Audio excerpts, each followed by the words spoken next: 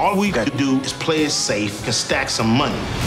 I will decide what I do next.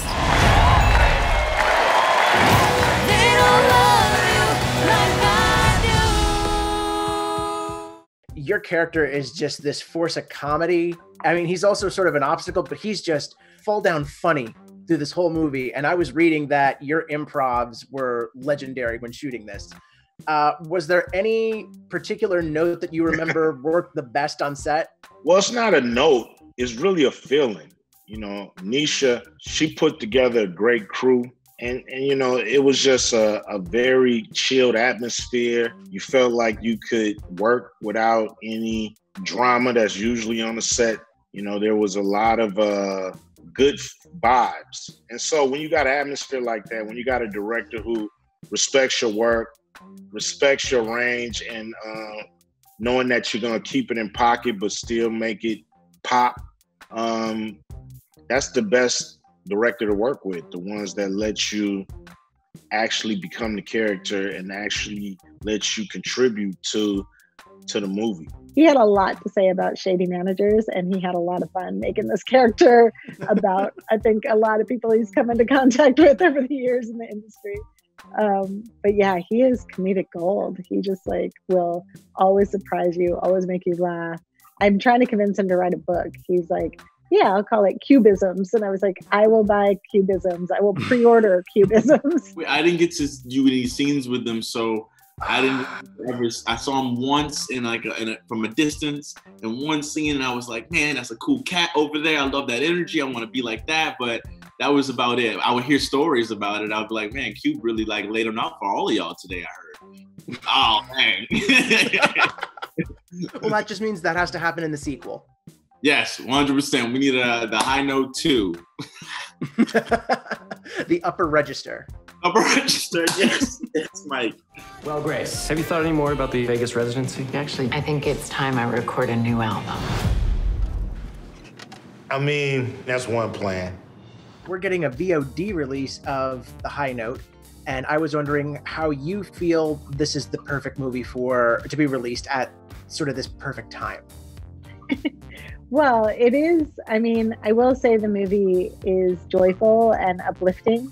Um, so in that sense, it feels like the perfect movie for this time. In the sense that it's got a lot of layers. You know, you can you laugh, hopefully you'll cry. You get to listen to really fantastic music that's original and also really beautiful source music and needle drops that we have lo- known and loved over the years. So it's to me like a, a movie that um, embraces nostalgia, but also is presenting a refreshing new take on a a familiar like relationship. So it's it's one of those studio films that I've always loved growing up that I would like run to the theater and watch. You never know. I mean, it's a great movie. I think, you know, people would have rushed to the theaters to see this because, you know, it's it's great music. The storyline is is very relatable to anybody who's who's maybe not happy with their position and ready to move up, looking for the courage to to take that leap of faith. And um, this movie represents all that and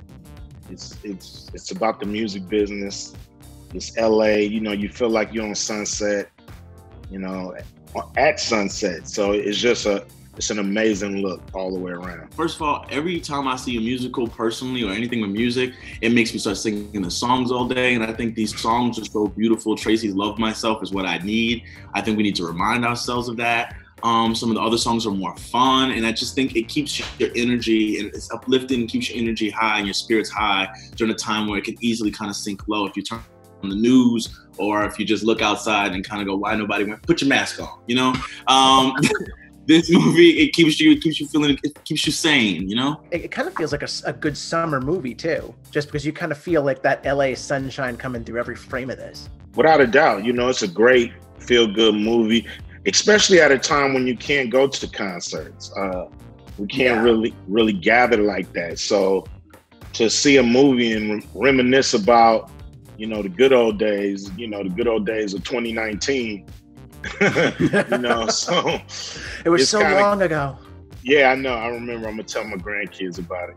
Uh, so, so you know, it's kind of kind of uh, cool to have you know, to let us know what we need to get back to, let us know what we miss, and also uh, something to root for. You know, you root for Maggie to break through um, and to uh, become everything she want to be. What am I supposed to say to her? I'm just a personal assistant, but I'd love to produce your music. Let me do my job and you do yours, which is get her coffee, Kleenex, Kotex, and whatever else the hell we've been paying you to do for the last six months. This is your big music debut. Uh, how did you feel about, or at least in the movies, uh, how did you feel about debuting your voice in the high note? And what sort of prep did you have to go through to do that? Ah, man, it, it was so, it was such a beautiful opportunity and it made me so grateful that I got to do it with these people, with Rodney Jerkins, Darkchild and a legendary producer, with Tracee Ellis Ross, you know, with q being in the movie, though we didn't get to make any music together, but the fact that q was just there um, is just is a is a is a is a huge is a huge moment for me, and I was nervous and I wanted to make everybody proud, but I also knew that I also wanted to like just give that little boy inside me, that you know, seven, eight year old, nine year old, ten year old Kelvin, an opportunity to kind of like follow his dream that he, he kind of abandoned for a little bit because he thought he wasn't good enough, just like David. So it was huge, but it took vocal lessons. We were on vocal lessons 45 minutes a day every day. We were doing guitar lessons for an hour every day. You know, it was uh, it was researching a lot of music and just just you know jumping off and seeing what happens. Now, what was an important trope for you to avoid in sort of respinning the uh, driven career professional female lead?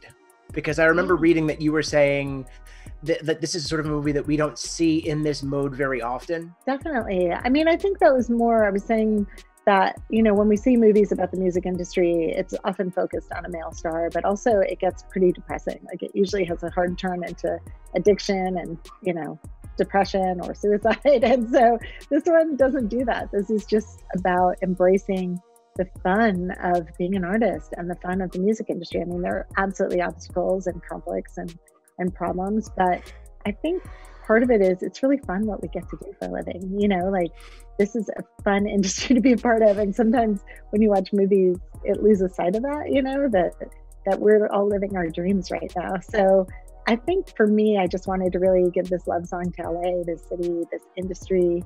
The music scene here is like such a fantastic, um, diverse music scene. And also to avoid the trope of the scary boss put upon assistant and really show a new take on that and how these two are sort of dependent in each other's lives, but also wholly independent in their own um, journeys and what they're facing.